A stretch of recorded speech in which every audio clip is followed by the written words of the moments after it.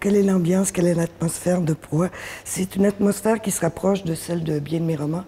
Euh, une atmosphère où, qui, d'abord est légère, c'est-à-dire que bon, euh, des jeunes qui s'en vont euh, camper en forêt, et puis bon, pour eux c'est la fin de l'été, alors tout va bien, tout, tout, tout roule comme, comme prévu, jusqu'à ce que petit à petit on sent y a quelque chose qui,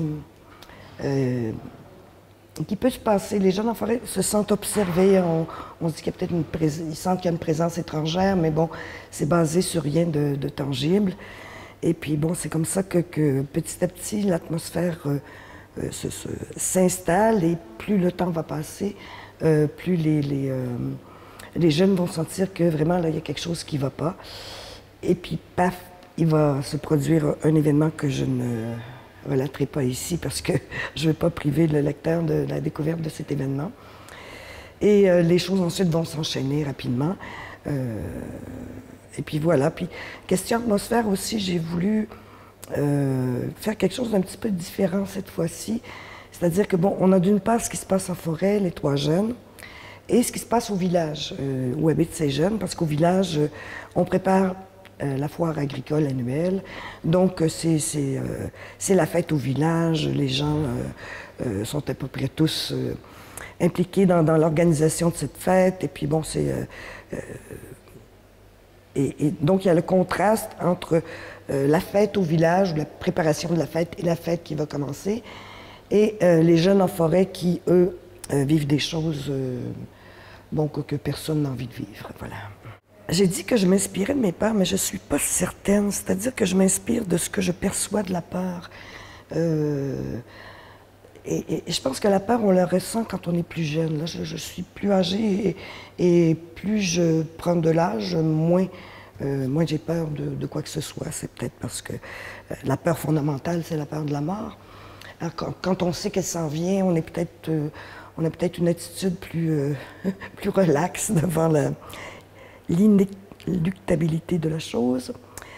Euh, donc, je, retourne un peu en arrière. Les peurs de l'enfance. Et on aime tous se faire peur quand on est enfant. Enfin, euh, on joue à se raconter des peurs, on joue à, faire peur aux autres, et puis on, s'invente des paquets d'histoires juste pour se donner des frissons.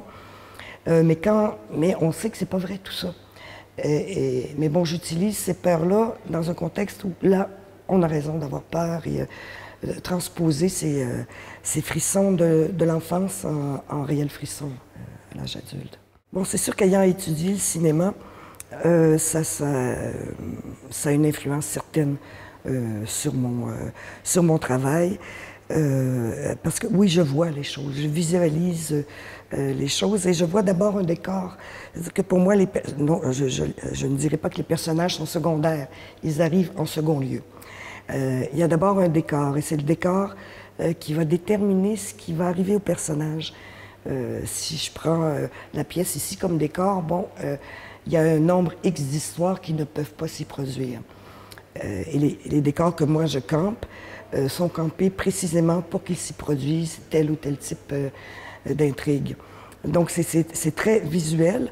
Je, ne scénarise rien par contre parce que je pars avec un décor et puis à un moment donné les personnages entrent côté cour, côté jardin et, euh, je construis l'histoire lentement sans savoir exactement où je m'en vais. Euh, mais bon, on me dit parfois que mon écriture est très cinématographique. C'est possible, euh, à cause, entre autres, de l'influence de, de mes cours en cinéma.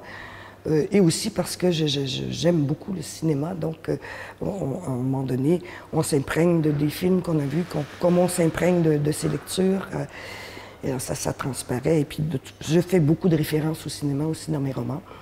Certains plus que d'autres, mais... qu'est-ce que le paranormal versus le surnaturel? Et j'ai de la difficulté à y répondre. Je ne vous donnerai pas une réponse intelligente. Je ne suis pas spécialiste du paranormal, mais pour moi, le paranormal, euh, c'est quelque chose euh, auquel des gens veulent croire. Quelque chose d'impossible, mais auquel les gens veulent croire, alors que le surnaturel nous vient plutôt euh, de certaines impressions. Parce qu'il n'y a pas vraiment de surnaturel dans mes romans, c'est plutôt des choses inexpliquées. euh, qu'on associe bon, au surnaturel parce qu'on n'a pas d'explication, sauf que si on creuse un peu, il y en a, toujours une. J'adore tous mes personnages, sauf les méchants. Euh, et, même, à ça, les méchants, bon, je ne peux pas dire que je les aime, mais c'est moi qui les écris. Hein, ce sont mes personnages.